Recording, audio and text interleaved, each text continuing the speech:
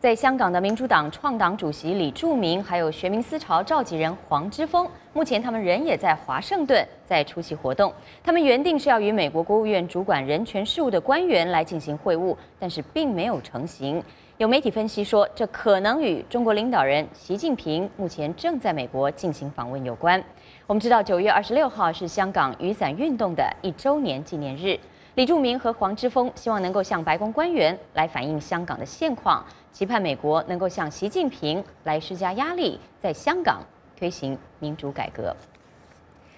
那么，中国国家主席习近平目前已经展开了美国访问，同时也在西雅图发表了他的第一场演说。习近平想通过这次访问达到哪些目的呢？迎接他的是否只有鲜花、笑脸，还有掌声呢？今天的媒体观察，我们要继续来讨论有关于习近平访美的相关问题。我们先来欢迎主持人海涛，海涛你好，你好，玉文，是我们刚刚有连串的报道，你也看到了啊。那么当然了，这个呃，习近平这次的访问，我们就先来看看星期二第一天他的主要行程，就是这场所谓的政策演说。刚刚我们也听到了苏浩教授的分析，他认为是美国方面需要采取更加积极主动合作的态度来与中方交涉，但是我相信在美国方面认为呢，比较难缠的是中国方面的态度。跟我们谈谈习近平这次来，他到底能够试图来说服美国政府与人民吗？看他这个讲话，在西雅图这个讲话，他本来是一个正式的参会上的讲话，一般来说不应该很长，但是习近平花了很长时间来，可见他把这篇讲话看得非常重要，是他到美国的第一站的第一次，而且是最重要的一次。我相信他以后到华盛顿也好，到呃纽约也好，他不会有这么重要的一个全方位的阐述中国政策的这么一个讲话。它主要分为两大段，第一大段谈中国国内的问题，包括经济发展，包括股市，包括包括包括反腐，包括这个法治，包括这个呃非政府组织，就等等。第二大块儿，它是谈国际关系，包括美国和呃中国之间的所谓的新兴大国关系，包括中国的南海问题，所谓和平发展的问题，主要就这么两大块儿。但是他用的非常长的时间来讲。那么苏浩教授呢，他只是分分析了就是。后面这一块儿就是中国和美国之间关系，中国和国际之间关系，但是他没有分析，就是习近平在那中间讲到中国国内的非常大的一块儿，这是苏浩教授他这个没有谈到的。就总体来说呢，习近平的调子，我把这篇讲话基本上全部都看了，仔细的分析了一遍。他这个调子呢，就是说，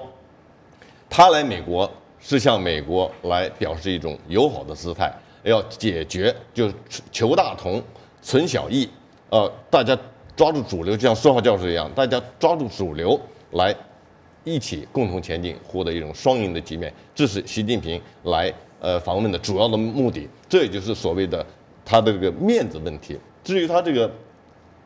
目，哎，至至于他这个目的能不能达到啊？他这也是他面子和里子问题。至于他目的能不能达到，那就看下一步来。美国真正要让华盛顿来到首都，真正要讨论到核心的问题，所谓的核心问题，不光是中国的核心利益，包括美国的核心利益，就是特别是双方之间的关系，特别是你刚才说到的，朱浩教授也提到的，就是中间的网络安全问题，还有就是人权问题，还有经济贸易逆差问题、人民币贬值问题等等，环境问题等等一系列问题，这些方面是纽呃奥巴奥巴马呃和习近平在纽呃华首都。华盛顿要真正面对的问题，这是习近平要真正争的的面的问题。确实，是这个西雅图的这场演说可以看来是投石问路，但是接下来就要看看他能够在华盛顿引起什么样的一个效应啊。那么当然，我们知道在西雅图，我们也已经看到了抗议的场面。这个早早前我们就已经预料了，这个抗议的场面在各个城市都会有发生。那么到底这一次呢，欢迎跟抗议习近平来访的队伍啊，双方的这个规模如何？双方可能采取什么样的行动？我知道海涛这几天来。也做了一些研究。一如既往呢，中国历来领导人访问呢，都是欢迎的规模都是不小了。不管是呃邓小平、赵紫阳，或者是胡锦涛、江泽民，或者是谁谁谁来访问，那么欢迎的人群当中肯定是不少了。就是一如既往，中国的领导人官职越高，权位越大。反对的人也是越来越多，因为大家都知道，只有向最关键的人喊话，才能获得的他们所应有的、他们期望得到的效果。那么从西雅图的抗议来看呢，就是无非是就是抗议的人群，就是是一样的，欢迎的人群也是一样的。欢迎的人群主要是在中国的那些学生学者还有商人，呃，抗议的人群呢，主要还是这几大类，第一法轮功，第二是中国的民运人士，第三就是呃。西藏西藏人士，还有台湾人士，还有一些就是其他方面的，最近新增加的一批，就来从中国到美国的维权人士，基本上是分为这五大块人士。这五大块人士呢，不管是中国领导人到哪里访问，他们总是会如影相随的追着他们。这回到西雅图，然后到华盛顿，然后再到纽约，相信这五大块人群呢，都会一直是追着习近平完成这三站的访问。是我们也会密切的关注与报道。我们谢谢海涛来到我们今天节目的现场。那么，观众朋友们，今天我们的媒体观察文字内容还有我们的视频，也将会刊载在美国之音的中文网上，欢迎您登录查询或者发表您的看法。我们的网址是 voa chinese 点 com。